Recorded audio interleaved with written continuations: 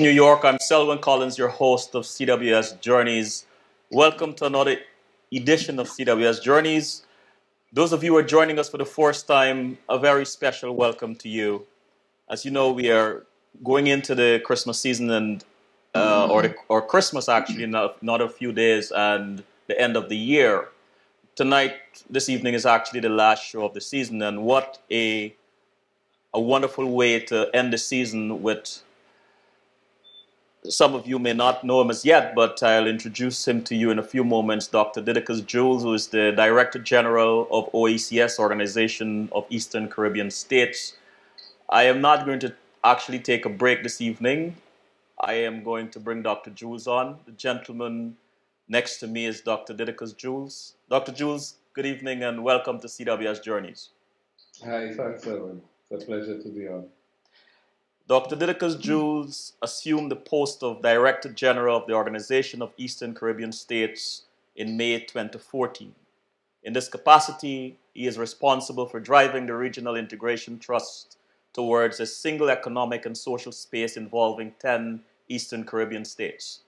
Dr. Jules has had extensive regional and international experience, most of it focused on education, social policy, and organizational transformation. He served as Registrar and Chief Executive Officer of the Caribbean Examinations Council from 2008 to 2014, leading a thorough modernization of the council. He has also served as Vice President, Human Resources, Cable and Wireless St. Lucia, 2005 to 2008, Permanent Secretary for Education and Human Resource Development, St. Lucia, 1997 to 2008, as well as Permanent Secretary for Education and Chief Education Officer in Revolutionary Grenada from 1981 to 1983. I, I can go on and on, but one of the things I like to do on this show is to give our guests an opportunity to take us through their timeline and give us a glimpse of who they are and what they're doing. Dr. Jules, if you were not the Director General of OECS and doing what you're doing today, what career would you like to have tried?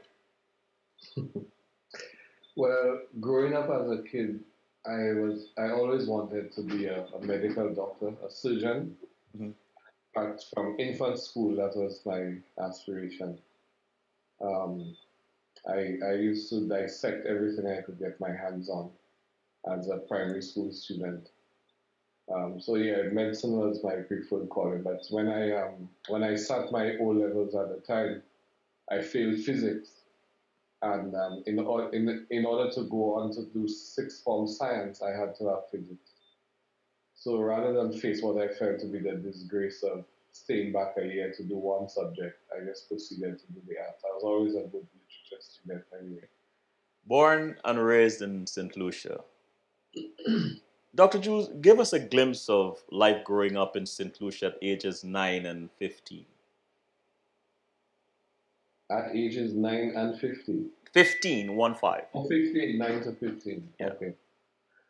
Um, it was an amazing time. I grew up in a, a part of Castries, the capital city called Grass Street.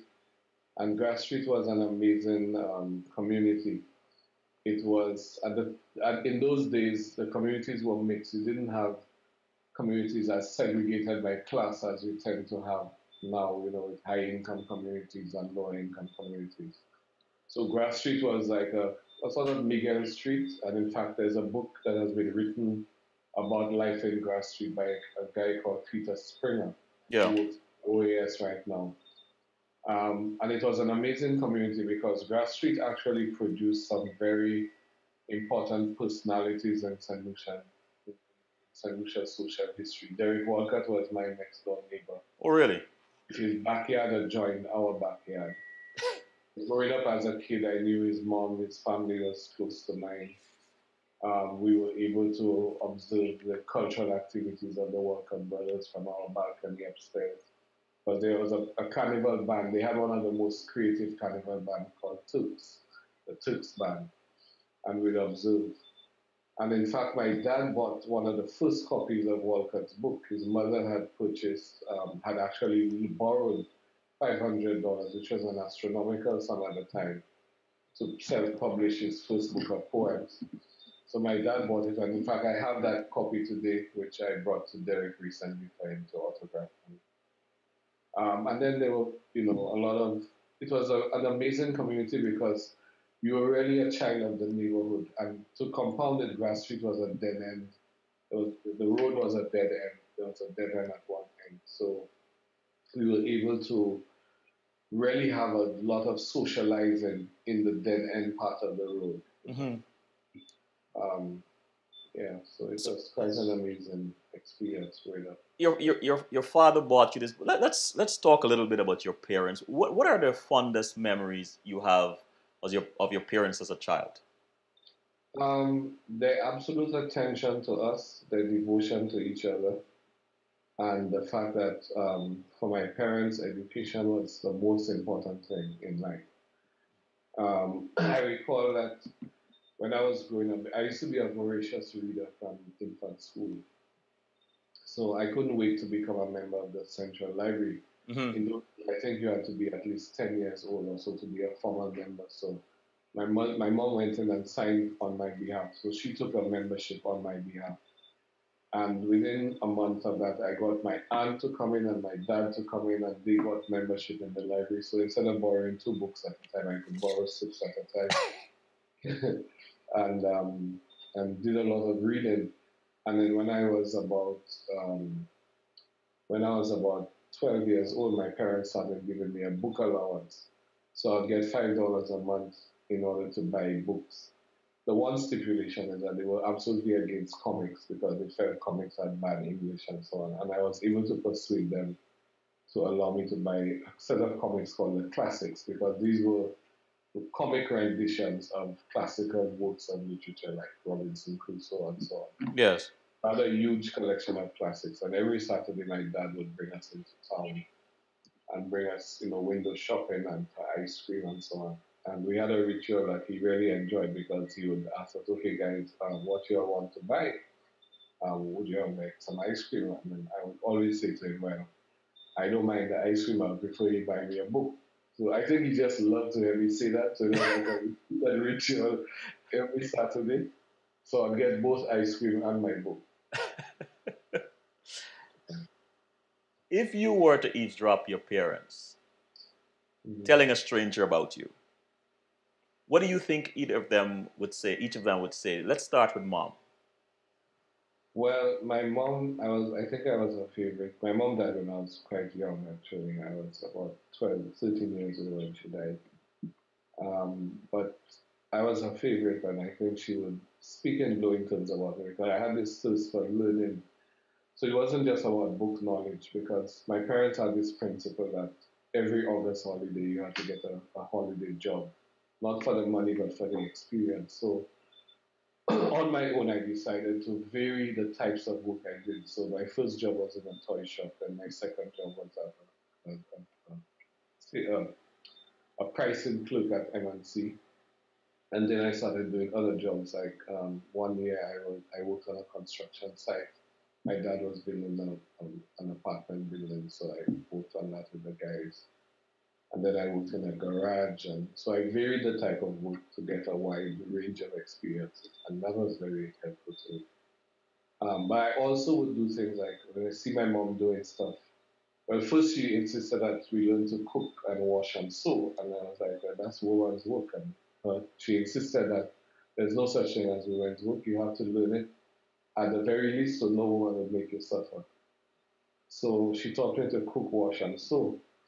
And I kind of took to it, and um, then I would see her doing her colors and you know making up her nails and so on, and ask her to teach me to do that, which was a fatal error because immediately afterwards, every time she was tired, she would do her nails and curl up her hair and so on. You know, so. Are you the oldest? I, yeah, I'm the eldest. Uh-huh. So I think my mom would, you know, say that I was, uh, you know, a good son, you know, a for learning, always eager to do something new. My dad, on the other hand, was a very strict guy, mm-hmm. uh, very Catholic, and um, he considered me a, re- a, rebel without a cause. Because in his view, I should live a good middle class life and you know settle into a profession. And he was very, very distraught with some of my rebellious thing. Although I tried on many occasions to point out to him that my rebellion was not without a cause. It was totally in keeping with the ethical principles by which I was raised. Mm. You have to stand up for your rights. You have to stand up for other people. You have to you know, be respectful of other people.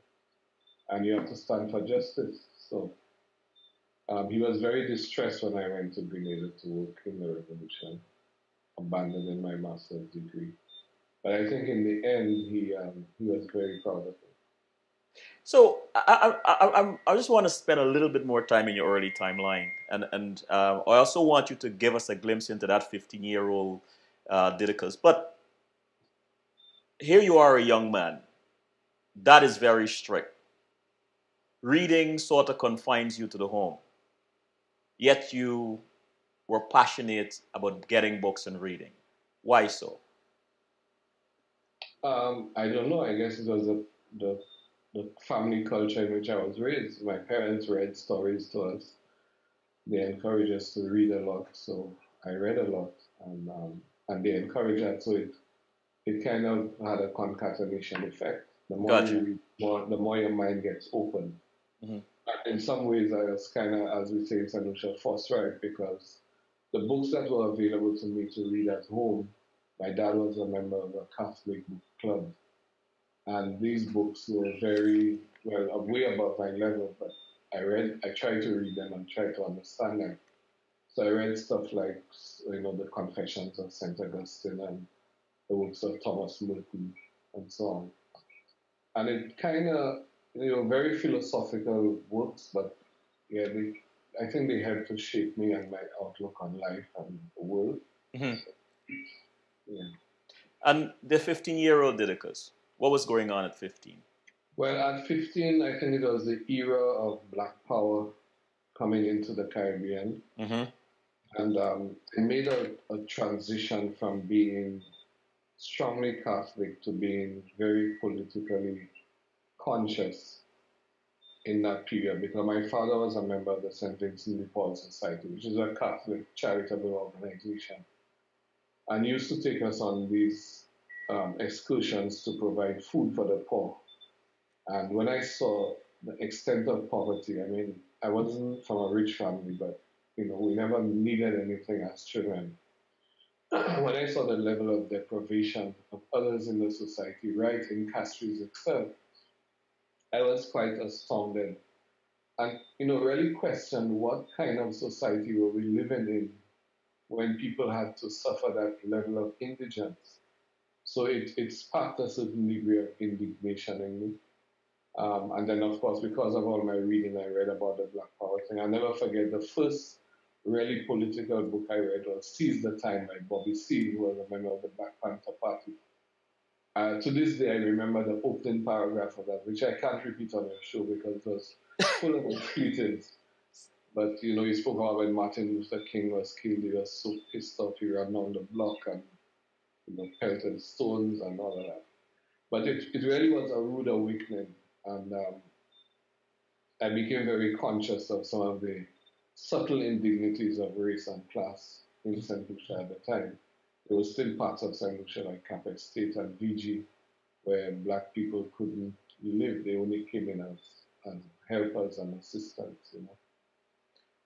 So, so and and that journey was guided in at a crucial point because you know when you sort of finding your own road, mm-hmm. um, you can you make a lot of mistakes. At, at when I was in, in at 15, I was in Form Five at St Mary's College, and one day this priest, we were very rebellious at the college. Um, we had a we used to wear these Afro sandals and you know, big afros and so on. And uh, we, we had a, a, student council that was very progressive and very vociferous. And the principal at the time was progressive in his own way, Brother Donatus. He agreed to change the official wear of the college from woolen blazers that we used to wear to shirt jack suits with the, the school crest. And then they said he left and he was replaced by an autocrat called Dr. Um, forget his name now, another another presentation, brother Luguri, brother Luguri. And brother Luguri said that he didn't recognize any student council.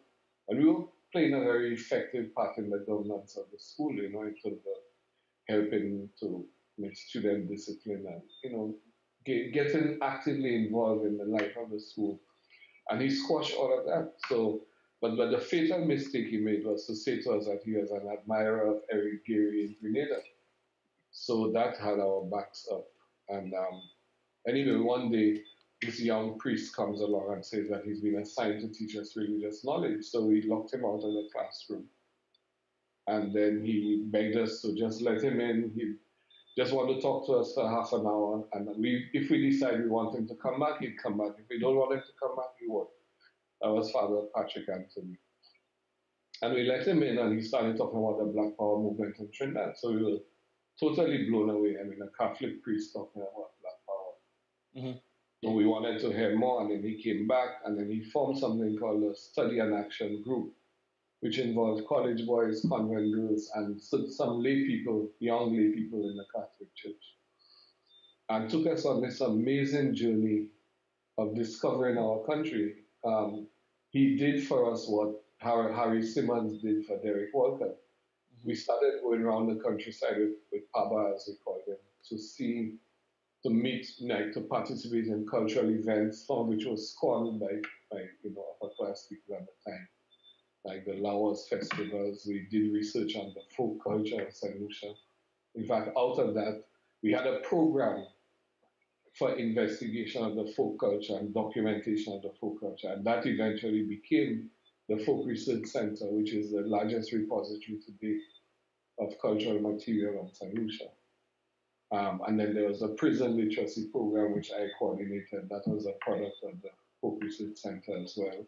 And that's what piqued my interest in education.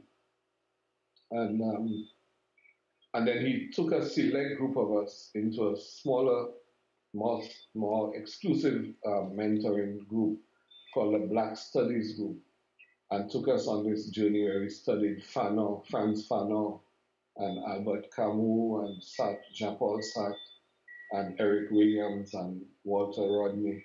In fact, when I went to university a couple of years later, I did, I, when I registered to do West Indian sociology, I discovered that three quarters of the books on the syllabus I had already read because of Father Anthony's uh, work with us in the Black Studies group. Oh, now, let's ease up your ease up your timeline a little bit. Still, this young man, fifth or sixth form, teaching at the prisons, having been introduced to some very profound literature because of your father's access to the Catholic Church, then introduced to Father, Father Anthony, a sort of revolutionary. Now, here is this young man transforming in his ideas, his politics, is social consciousness. You were also introduced to what you considered poverty and was very shocked by, by, by it when your father took you around you and your, your, your siblings to feed, to feed the hungry. Tell us about that experience when you started teaching at the prison. How did that experience continue to mold this gentleman that we have come to know as Dr. Didacus Jules? Well, it was a very profound experience because, you know, in in most societies, prisoners are considered almost the the wretched of the earth. They're the scum of the society because they are criminals and various forms of stereotyping. So we went there initially as do-gooders, thinking, well, we're going to help these guys to reform themselves and so on. And because we were using, attempting to use Paulo Freire's methodology of conscientization, where you focus on the condition of the oppressed mm-hmm. as a basis for them becoming more self-conscious about their conditions in life and their options for betterment. Um, we we learned so much about prison. I mean, it was a real journey um, in an, in understanding for us. I think we learned more than the prisoners learned because we were teaching them to read and write, we were learning also what about the society itself. I remember, you know, the first class we had, we put up the word prison on the board and asked people, what does prison mean to you? And when they started really delving into themselves I'm talking about the experience of prison, from that initial class, we got material for a whole year of classes. We were able to record what they said, um, not not audio by audio, but you know by transcription, and um, we were able to come back to them and say, okay, today we're going to be discussing the theme of prison and family. Because recall, this person said that, that person said this, this other person said that. And these all relate to the theme of prison and family. So let's discuss how does prison affect your family? How does prison impact family life? Um, or the lack of family, and so on. So we went deeper into that theme. We discussed um, the question of time. For, I mean, that was one of the, the most profound philosophical experiences for me.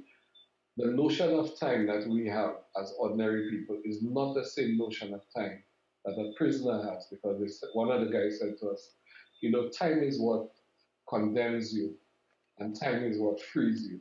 Hmm. So your whole existence, the clock is a different symbol for you altogether. And um, you know, we started understanding the some of the structural injustice in society. Um, when guys recounted stories of knowing of big boys in the society who had committed white collar crimes and with huge impacts on the wider society and not even ever see the inside of a cell. And you know, small guys from stealing stuff ending up on three months in jail and so on we learned a great deal from that. Mm-hmm. And I always tell people one of my favorite quotations is from Dostoevsky in his book White Nights, where he asks, How can you live and not have a story to tell? I, I, I told my staff at CXC as my farewell that, you know, one of the problems is that too often we try to tell our own stories. But mm-hmm. in the end, what, what really your story must be told by your example. It must be told by the results that you achieve. And then your story tells you. Dr. Didacus, by, by the end of this conversation, I'm hoping that a big chunk of your story, and I'm not trying to be presumptuous here, will be told.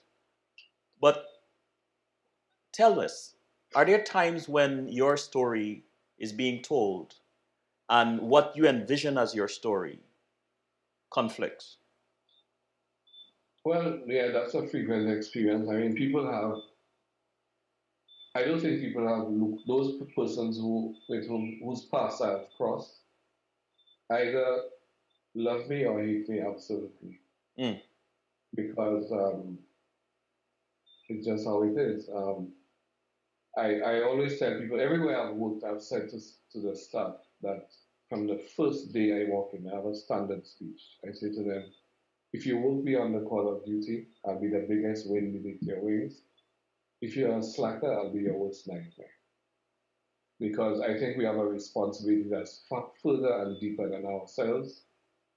Um, especially when you work in the public service, a job is not just a job. It's not just for salary, it has to be for a cause. Right? And we have an obligation to deliver quality service and to work with passion. Um, so, what what are sometimes, sometimes, I mean like, and again because of my life experiences, there are mm-hmm. people who, for example, because of my involvement in the Grenada Revolution, I have been categorized at different points as being a communist, and people see you within that construct, right? So for some people, being a communist means being a devil. So I've been demonized by some people. I had a particular experience after the collapse of the Grenada Revolution. I was walking the streets of Castries and came across a friend of mine. So we, he was talking to a young lady. We stopped, greeted each other, and then we ended up in this hour-long conversation about some issues in St. Lucia. And the young lady at a certain point said, Well, uh, I, you know, we've been talking all this time. I don't know who you are. So I introduced myself. He said, You are Didacus Jules? I said, Yeah. He said, Well, I would never believe that you have these views because of what I've heard about you. So I said, What did you hear about me? And she said, I mean, I heard you're communist and all of that. So her, her expectation of the type of person I am was very different from who she found me to be. So, Dr. Jules, what what are people? Um, do you believe are people surprised to learn about you when they get to know you?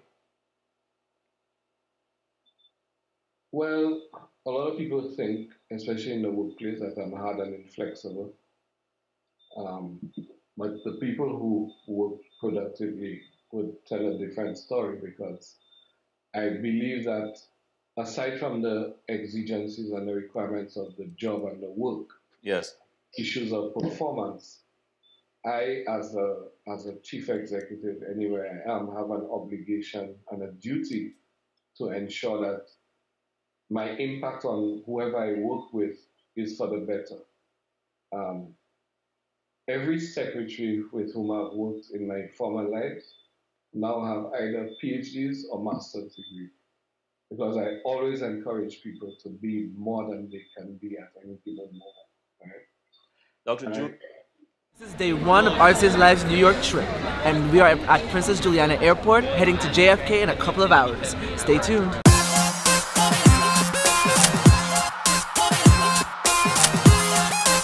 Artist Live!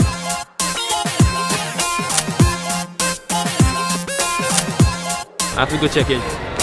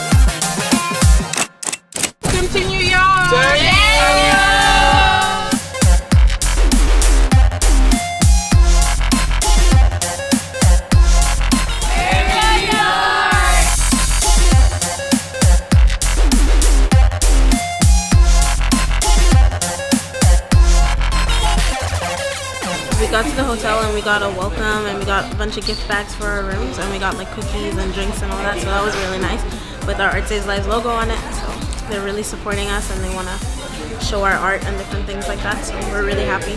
It's cool.